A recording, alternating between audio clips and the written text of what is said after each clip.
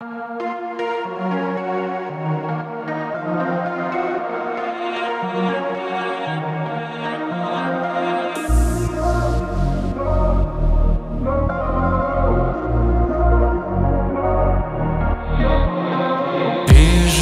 наш поток, осознанные встречи. Блаженство в потолок, раскручено под вечер. Мысли целый пруд, а из